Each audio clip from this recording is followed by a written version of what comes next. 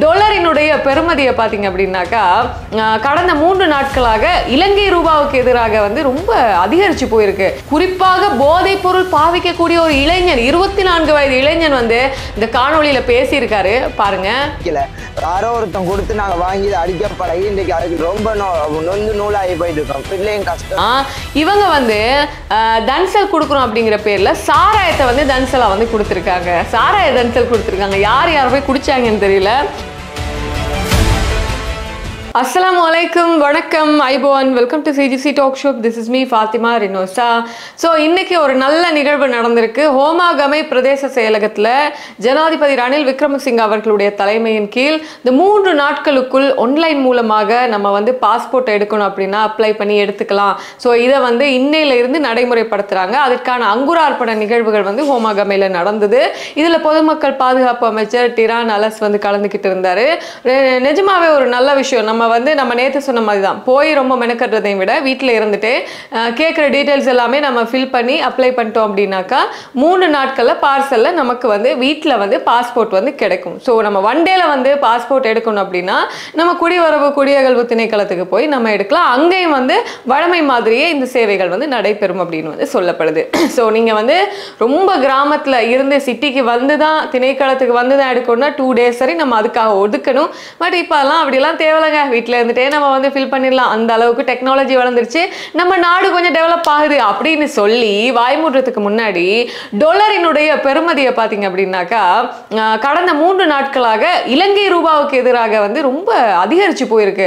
என்னையா இப்படி இதாயிட்டு இருக்கு அப்படின்னு பார்த்தாக்கா டொலரினுடைய விற்பனை விலை பார்த்தீங்கன்னா முந்நூற்றி முப்பத்தஞ்சு ரூபாய்க்கு மேலே போயிருக்கு. கொள்வனவு விலை வந்து முந்நூற்றி பதினெட்டு ரூபா வரைக்கும் முந்நூற்றி பன்னெண்டு ரூபா வரைக்கும் வந்துருச்சு அப்படின்னு வந்து சொல்கிறாங்க இது டொலருக்கு நிகரான இலங்கை ரூபாய் மாத்திரமில்லை மதி மதிப்பிழந்து போயிருக்கு. ஏனைய வெளிநாட்டு நாணயங்களுக்கு எதிராக இலங்கை ரூபாயினுடைய மதிப்பு வந்து ரொம்ப குறைஞ்சு போயிருக்கிறதாக வந்து சொல்லப்படுது. அந்த வகையில் பார்த்தீங்கன்னா கனடிய டாலர் வந்து அஹ், விற்பனை விலை இருநூத்தி நாற்பத்தி ஏழு ரூபா தொண்ணூற்றி ஐந்து சதம் கொள்வனவு விலை இருநூத்தி முப்பத்தி ஒரு ரூபா எழுபத்தி மூன்று சதமாகவும் யூரோவினுடைய விற்பனை விலை முந்நூற்றி ஐம்பத்தாறு ரூபா தொண்ணூற்றி ரெண்டு சதம் கொள்வனவு விலை முந்நூற்றி முப்பத்தஞ்சு ரூபா தொண்ணூற்றி நான்கு சதம். இப்படி வெளிநாட்டு நாணயங்கள் இதாக இருக்கு. நான் முன்னாடி சொன்ன மாதிரி தான் டொலரினுடைய விற்பனை விலை முந்நூற்றி முப்பத்தஞ்சு ரூபா அறுபது சதம் கொள்வனவு விலை முந்நூற்றி பதினஞ்சு ரூபா. மூன்று நாட்களுக்குள்ள என்னடா இது இப்படி இதாகி போயிட்டு இருக்கு அப்போ திரும்பவும் வந்து பொருட்களுக்கு நீங்கள் வந்து விலையை கூட்டிடுவீங்களாப்பா அப்படின்னு கேட்டாக்கா அதுதான் நடக்க போகுது. ஏன்னா டொலர் குறைஞ்சாக்கா எவனுமே வந்து விலையை குறைக்க போகிறதில்ல ஆனால் டொலர் கூடிட்டுனா மட்டும் அதான் டொலர் கூடிருச்சுல்ல அதுதான் இந்த விலைக்கு தரோம் அப்படின்னு நம்மக்கிட்டே தெனாவட்டா வந்து கேட்பாங்க.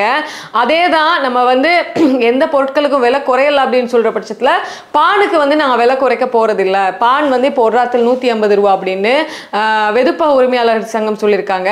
ஆனாலும் வந்து இப்போ இருக்கிற நிலமையில நாங்கள் பானுக்கு வந்து விலை குறைக்க போகிறதில்ல என்னன்னாக்கா இப்போ அதிகமாக இலங்கையில் உள்ள அதிகமாக மெஜாரிட்டி வந்து பார்த்தீங்கன்னா பேக்கரிகள் வந்து கேஸில் வந்து இயங்குறது கிடையாது. எல்லாமே வந்து விறகு அடுப்பினாலையும் அதிகமாக வந்து கரண்ட் அடுப்பினாலையும் தான் வந்து பான் எல்லாம் வந்து உற்பத்தி செய்கிறாங்க பான் மாத்திரமில்லை பேக்கரி உணவு உற்பத்திகளை வந்து அதிகரிக்கிறாங்க. அதனால கேஸுக்கு குறைச்சிட்டோம் அப்படிங்கிறதுக்காக பான் மற்றும் பேக்கரி உணவுகளுக்கு நாங்கள் குறைக்க போகிறது இல்லைன்னு அவங்க முன்னாடியே வந்து சொல்லிட்டாங்க. ஆனால் சத்தோச நிறுவனம் வந்து மூன்று பொருட்களுக்கு வந்து இன்னைக்கு விலையை குறைச்சிருக்காங்க. என்னென்ன பொருட்கள்னு பார்க்கும்போது ஒரு கிலோகிராம் கோதுமை மாவு வந்து அஞ்சு ரூபாயில் குறைச்சு இப்போ ஒரு ஒரு கிலோகிராம் கோதுமை மாவு நூற்றி தொண்ணூத்தஞ்சு ரூபாயாகும் ஒரு கிலோகிராம் சிவப்பு பருப்பு வந்து நாலு ரூபாயால குறைச்சி இருநூற்றி தொண்ணூத்தஞ்சு ரூபாயாகவும் புதிய விலை. ஒரு கிலோகிராம் கடலைப்பருப்பை பதிமூன்று ரூபாயால குறைச்சி இருநூற்றி எழுபத்தஞ்சு ரூபாயாக புதிய விலை வந்து இது பண்ணியிருக்காங்க. சரி இந்த டொலரினுடைய பெருமதி அதிகரிப்பு ரூபாவினுடைய பெருமதி வீழ்ச்சி இது வந்து இந்த த்ரீ டேஸுக்கு நமக்கு வந்து தா தாக்கம் ஏற்படுத்தாது. இது வந்து பார்த்தீங்கன்னா இன்னும் இன்னொரு டூ த்ரீ டேஸ் போகிறதுக்கு இடையில நீங்கள் என்ன பாருங்க கோழிக்கு திரும்ப விலையை கூட்டிட்டாங்க திரும்ப ஸ்பேர் பார்ட்ஸுக்கு வந்து விலையை கூட்டிட்டாங்க திரும்ப வந்து தேங்கெண்ணெய்க்கு கூப்பிட்டு கூட்டிட்டாங்கன்னு சொல்லிட்டு இந்த டொலர் வந்து விலை கூட்டிட்டுன்னு சொல்லிட்டு இந்த சில பேருக்கு இந்த கணக்கு விளக்கு தெரியாது தலைகீழ் விளங்காது அப்படிங்கிறதுக்காக காண்ற வியாபாரிகள் எல்லாமே அவங்க கிட்ட இருக்கிற பொருட்களை வந்து ஆ தான் கூடிருச்சு. நாங்கள் வந்து கூட்டி வைக்கிறோம்னு சொல்லிட்டு விளப்பம் இல்லாமல் வந்து விலையாத்தி வச்சிருப்பாங்க. ஸோ இதுதான் நம்ம நாட்டில் நடந்துட்டு இருக்கு. ஸோ பார்க்கலாம். சத்தோசை வந்து குறைச்சிருக்காங்க. ஸோ இன்னும் இன்னும் இன்னும் குறைக்கணும் அப்படிங்கிறது வந்து நம்ம இது பண்ணிக்கிறோம். அதை தாண்டி ரெண்டாயிரத்தி இருபத்தி ஓராம் ஆண்டு பார்த்தீங்கன்னா கெரவலப்பிட்டியில சுங்கப்பிரிவினரால் வந்து கிட்டத்தட்ட ஆயிரத்தி ஐநூறு கோடி ரூபாய் பெறுமதியான சிகரெட்டுகளை வந்து கைப்பற்றியிருந்தாங்க. அந்த சிகரெட்டில் கிட்டத்தட்ட பார்த்தீங்கன்னா இருநூறு மில்லியன் சிகரெட் அப்படின்னு சொல்லப்படுது. இந்த இருநூறு மில்லியன் சிகரெட்டுகளை வந்து இன்னைக்கு அழிச்சிருக்காங்க. என்னன்னா இந்த இந்த சிகரெட்டுகளை வந்து ஏன் அழிச்சாங்க அப்படின்னு நிதி ராஜாங்க அமைச்சர் வந்து சி- ரஞ்சித் சியமலாபிட்டி அவர்கள் கிட்ட கேக் கேட்குறாங்க ஏன் அதை அழிச்சிங்க? இப்போ நீங்கள் கேட்பீங்க இல்லையா? இந்த சிகரெட்டெல்லாம் வந்து ஏன் ஆயிரத்தி ஐநூறு கோடி ரூபாய் பெறுமதியான சிகரெட்டை வந்து விற்கலாமே? இல்லைன்னா வந்து ஏதாச்சும் வருமானம் வந்து தர மாதிரி வந்து பண்ணலாமே? ஏன் நீங்கள் அதை வந்து எரிக்கிறீங்க அப்படின்னு கேட்டாக்கா அது எங்கேருந்து வந்தது? அதில் தரம் எப்படி இருக்குன்னு சொல்லிட்டு நம்மளால் வந்து சொல்லாமல் இப்படி நம்ம விற்கிறது? அதனால் வந்து நாங்கள் வந்து எரிச்சிட்டோம் அப்படின்னு வந்து சொல்கிறாங்க இன்றைக்கு நம்மளுடைய ரஞ்சித் சியமலாபிட்டி அவர்களுடைய தலைமையின் கீழ் கிட்டத்தட்ட இருநூறு மில்லியன் சிகரெட்டுகள் அதாவது ஆயிரத்தி ஐநூறு கோடி ரூபாய் பெறுமதியான சிகரெட்டுகள் வந்து எரிக்கப்பட்டிருக்கு.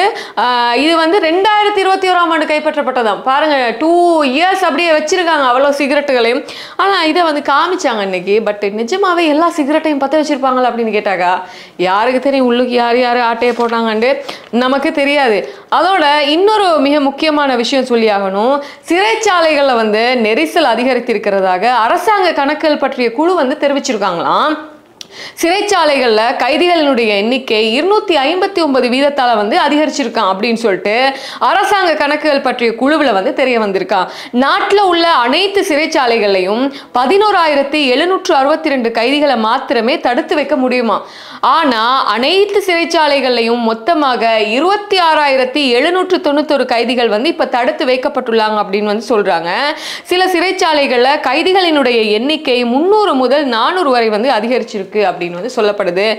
நம்ம நாட்டில் கிட்டத்தட்ட இருபத்தி ஆறாயிரத்தி எழுநூற்றி தொண்ணூற்றி ஒன்றுக்கும் மேலே சிறை கைதிகள் இருக்காங்க அப்படின்னும் பொழுது இவ்வளோ பேர் ஜெயிலில் இருக்காங்கல்ல நம்மலாம் இப்போ எவ்வளோ சுதந்திரமாக வாழ்ந்துட்டு இருக்கோம் அவர்களுடைய வாழ்க்கையை வந்து நினைத்து பார்க்கும்பொழுது எத்தனை வருஷமாக வந்து சிறை சிறையில் இருந்துட்டு இருப்பாங்க அவங்களுக்கு பொது மன்னிப்பு வழங்காமல் எத்தனை வருஷமாக காத்துட்டு இருப்பாங்க இதெல்லாம் நினைக்கும் பொழுது நமக்கு கிடைத்த சுதந்திரத்தை வந்து நம்ம கரெக்டாக அனுபவிக்கிறோமா? அதை ஃபீல் பண்ணுறோமான்னு நமக்கு தெரியாது.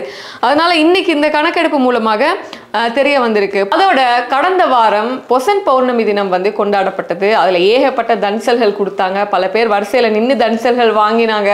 அப்படி தன்சல்கள் கொடுத்த இடத்துல பார்த்தீங்கன்னா ஆறு பேரை அரெஸ்ட் பண்ணியிருக்காங்க ஆறு இளைஞரால் அரெஸ்ட் பண்ணியிருக்காங்க ஏன் அப்படின்னா இவங்க வந்து தன்சல் கொடுக்குறோம் அப்படிங்கிற பேரில் சாராயத்தை வந்து தன்சலா வந்து கொடுத்துருக்காங்க. சாராய தன்சல் கொடுத்துருக்காங்க. யார் யார் போய் குடிச்சாங்கன்னு தெரியல.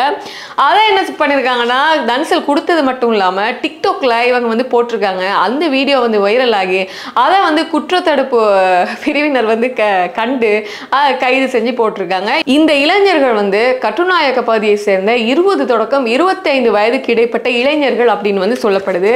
ஸோ தேவையற்ற ஒரு வேலை. தேவையில்லாத வேலை. எதுக்குப்பா தேவையில்லாத வேலை பார்க்க போறீங்க? சாராயத்துலையும் யாராச்சும் தன்சல் கொடுப்பாங்களா?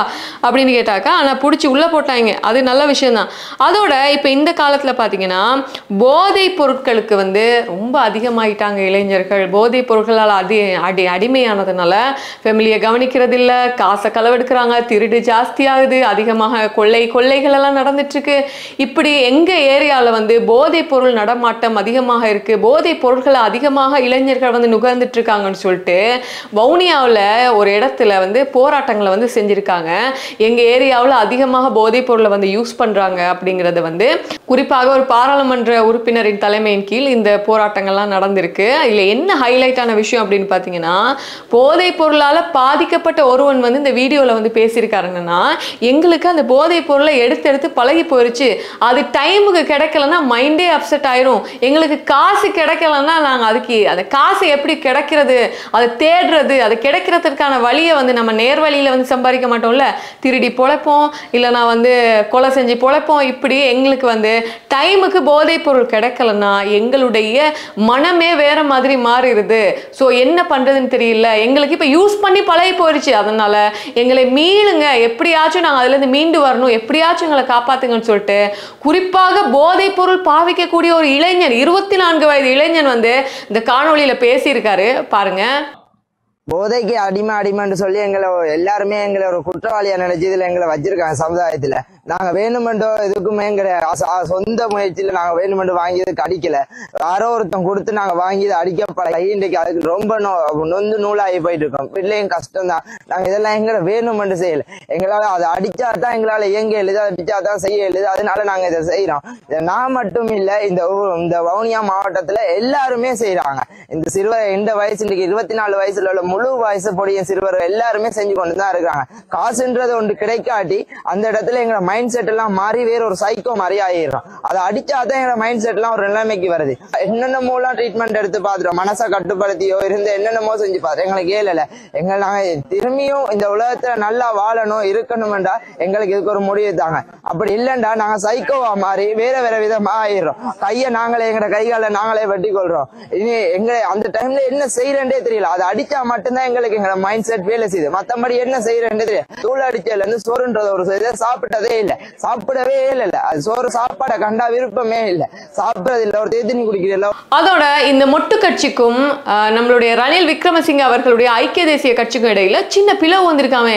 சின்ன பிளவா? அதெல்லாம் கிடையாதுங்க. பெரிய பிளவே ஏற்பட்டிருக்கு. நேத்து பாத்தீங்கன்னா மொட்டு கட்சியினரை கூப்பிட்டு ரணில் விக்ரமசிங்க அவர்கள் ஒரு மீட்டிங் போட்டிருக்காரு. அதுல வந்து பாத்தீங்கன்னா இந்த இப்போ உள்ள அரசாங்கத்துக்கு ஆதரவான சில கட்சி உறுப்பினர்களை பார்த்தா உள்ள அவர்கள் நம்மளுடைய ஜீவன் தொண்டமானவர்கள் அதாவது தொழிலாளர் காங்கிரஸ் அவர்களுடைய கட்சியை சார்ந்தவர்கள் ஐக்கிய தேசிய கட்சியில் உள்ள வஜ்ர அபேவர்தன் அவர்கள் இப்படி கொஞ்சம் பேர் வந்து அந்த மீட்டிங்ல கலந்துக்கிட்டு இருக்காங்க. கொஞ்சம் பேர் கலந்துக்கவே இல்லை.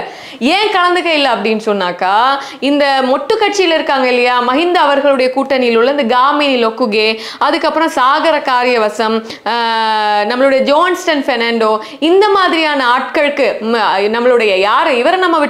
சந்திரசேன அவர்கள் அவர் கூட அண்மையில சொல்லியிருந்தார். எங்களுக்கு வந்து பதவி வந்து தரல அதுக்காக நாங்க வந்து இது பண்ண மாட்டோம் அது பெருசாலாம் ஏத்துக்க மாட்டோம் அப்படின்றலாம் சொன்னாரு. இப்படி இந்த நான்கு ஐந்து இந்த மூத்த உறுப்பினர்கள் சிரேஷ்ட உறுப்பினர்களுக்கு வந்து பதவி கொடுக்கல அப்படிங்கிற பேர்ல இது நாமல் ராஜபக்ஷ ஆட்களும் வந்து ஏன் எங்களுடைய சிரேஷ்ட உறுப்பினர்களுக்கு நீங்க பதவி கொடுக்குறீங்க இல்ல? அப்படிங்கிற மாதிரி ஒரு சின்ன கிளாஷ் ஒன்று போயிட்டு இருக்கு இந்த கிளாஷ்னால வந்து கொஞ்சம் பேர் அங்க போகல. யாரு? இந்த ரணில் விக்ரமசிங்க அவர்கள் கூப்பிட்டு கதைக்கிறதுக்கு இவங்க வந்து போகல அப்படிங்கிற மாதிரி ஒரு கதை ஒன்று வந்திருக்கு. ஆனா மொட்டு கட்சியினுடைய முன்னாள் எரிசக்தி அமைச்சர் காமினி லோக்குகே என்ன சொல்லியிருக்காருன்னா ஊடகவியலாளர்கள் கேட்குறாங்க நீங்க உங்களுக்கும் ரணில் அவர்களுக்கும் ஏதோ பிரச்சனையாமே ஐக்கிய தேசிய கட்சிக்கும் யாருங்க சொன்னது அப்படிலாம் இல்லை இல்லை உங்களுக்கு பதவி ஏதோ தரலன்னு ஏதோ பிரச்சனையாமே இல்லை இல்லை அப்படியெல்லாம் இல்லைங்க நாங்கள் அவங்களுக்கு சப்போர்ட் பண்ணிட்டு தான் போறோன்ற மாதிரி அவர் சொல்லியிருக்காரு நீங்க வேண்டா பாருங்களேன் කිසිම විරසක භාවයක් නෑ අපි පිටෝපු අන්ඩු ශක්තිමත්ව අරගෙන යනවා අපි. කැබිනට අමාත්‍ය දූරදීම තවදුරටත් පස්සට යනවද? ඒක ඉතින් ජනාධිපතිතුමා තීන්දුව කරයි අපේ පක්ෂය ජනාධිපතිතුමා කතා කරලා ඒව ගැන තීන්දුව ගනී. ඔබතුමාලා කලකිරීමෙන් දින්නේ අමාත්‍ය දූර නැතිවීම සම්බන්ධව. අපි නම් කලකිරීමෙන් නෑ අපි පක්ෂය වැඩ කරගෙන ඉන්නේ. දැන් දිගින් දිගටම සාකච්ඡා වලට යනවා. නමුත් ඔබලා ප්‍රතිඵලිතාම නැහැ නේද? අපිට එහෙම ප්‍රතිඵලයක් ගැන අපි බලාපොරොත්තුවක් ஸோ இப்படியாக இருக்கும் பட்சத்தில் நேத்து ஐக்கிய தேசிய கட்சியின் தொகுதி கூட்டம் ஒன்று நடந்திருக்கு இதில் ஐக்கிய தேசிய கட்சியின் பிரதித் தலைவர் ருவான் விஜயவர்தன் அவர்கள் என்ன சொல்லியிருக்காரு அப்படின்னா இப்போ இருக்கிற பிரச்சனை அதாவது நாட்டை விஸ்தரிக்கணும்னா நாட்டில் உள்ள நிலைமை வந்து சீராக்கணும் அப்படின்னா இன்னொரு அஞ்சு வருஷத்துக்கு ரணில் விக்ரமசிங்க அவர்கள் ஜனாதிபதியாக இருந்து தான் ஆகணும் அதனால வந்து அதற்கான நடவடிக்கைகளை தான் எடுத்துட்டு இருக்கோம் அப்படின்னு சொல்லிட்டு இப்போ இப்போ இப்போ ருவான் விஜயவர்தன் இன்னொரு விஷயம் சொல்லியிருக்காரு. நாங்கள் வந்து யார்? கோட்டாபய ராஜபக்ஷ அவர்கள் வந்து பிரதமர் பதவியை ப பாரம் எடுங்கன்னு சொல்லிட்டு சரத் பொன்சேகா கிட்ட கேட்டாரு சஜித் கிட்ட கேட்டாரு. யாருமே முடியாதுன்னு சொன்னதுனால தான் வந்து ரணில் விக்ரமசிங்க எடுத்தாரு. எடுத்து இப்போ போறாருல்ல பிரச்சனைகளை தீர்க்கிறாருல்ல. திரும்ப எதுக்கு வந்து எங்களோட முட்டிட்டு இருக்கீங்க? என்னன்னா இப்போ மொட்டு கட்சியினருக்கு வந்து மிகப்பெரிய ஒரு பயம் வந்து ஏற்பட்டுருச்சு.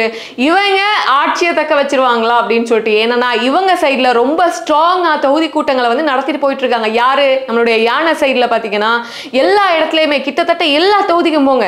எல்லா இடத்துலயும் கூட்டங்களை நடத்துங்க. கட்சி கூட்டங்களை நடத்துங்க. நீங்க தான் இது பண்ணணும். நம்ம தான் அடுத்த தடவை வந்து ஆட்சியில் அமரணும் அப்படின்னு சொல்லிட்டு இவங்களுடைய கூட்டங்கள் வந்து ரொம்ப பிரம்மாண்டமாக ஒவ்வொரு ஒரு ஏரியாலையும் நடந்துட்டு இருக்கு அந்த வகையில் நேத்து நடந்திருக்கு. ஸோ இதனால வந்து மொட்டு கட்சியினருக்கு ஒரு பெரிய பலம் வந்திருக்கு. டிலான் பெரேரா கூட சொல்லியிருக்காரு. இப்போ எதிர்க்கட்சி சார்பில் ஏதாச்சும் ஒரு வேட்பாளரை வந்து அமர்த்தணும். இது சரிப்பட்டு வராத விஷயம். நம்ம அப்படியே விட்டு மேலே பார்த்துட்டு இருந்தோம்னா திரும்ப ரணில் வந்து உட்கார்ந்துருவாரு. வந்துருவாரு அப்படிங்கிற மாதிரி இருக்கு. ரணிலுக்கும் ஆசை இருக்காதா என்ன? சரத் பொன்சேகாவுக்கும் ஆசை இருக்காதா? திரும்ப நம்மளுடைய பெசிலுக்கு ஆசை இருக்காதா? மைத்திரிக்கு ஆசை இருக்காதா? இப்படி எல்லாருக்குமே ஜனாதிபதி கதிரையில இருக்கணுங்கிற ஆசை இருக்கு. ஆனா இதை விட எல்லாருமே ஒருத்தனை பார்த்து பயப்படுறோம் அப்படின்னா அனுரகுமார திசாநாயக் அவர்களை பார்த்து தான் அந்த அனுரகுமார் திசாநாயக் ஒன்று ஒருத்தர் வந்து இன்னைக்கு வரைக்குமே ஸ்ட்ராங்கா இருக்கிறதுனால தான் அவருக்கு பின்னாடி மக்கள் ப படைபலம் இருக்கிறதுனால தான் உள்ளூராட்சி மன்ற தேர்தலை நடத்துறதுக்கே இந்த பின்வாங்கிட்டு இருக்காங்க. இந்த அளவு வந்து தள்ளி வச்சிட்டு இருக்காங்க. ஸோ தெரியாதுங்க. அடுத்த வருஷம் வரைக்கும் நம்ம பொறுத்திருந்து பார்ப்போம். ஜனாதிபதி தேர்தலில் யார் வர்றாங்க அப்படிங்கிறது வந்து நம்ம ஒரு தேர்தலுக்கு மூணு மாதத்துக்கு முன்னாடி ஒரு கருத்து கணிப்பை வந்து வச்சிடலாம் யார் தான் வர்றாங்கன்னு சொல்லிட்டு நான் ரொம்ப ஆர்வத்தோட இருக்கேன். நீங்களும் ஆர்வத்தோட இருப்பீங்க தானே? சரி சும்மா உங்ககிட்ட லாஸ்ட் ஒரு கேள்வி கேட்குறேன் அடுத்த ஜனாதிபதியாக இவர் தான் வருவாருங்க. நான் அடிச்சு சொல்றேங்க. இந்த நாளை நீங்க உங்க கலண்டர்ல குறிச்சு வச்சுக்கோங்க. அப்படின்னு நீங்க சொன்னீங்க அப்படின்னாக்கா யாரை சொல்வீங்க அப்படின்னு கீழே கமெண்ட் பண்ணுங்க. இன்னொரு வீடியோல சந்திக்கிறேன்.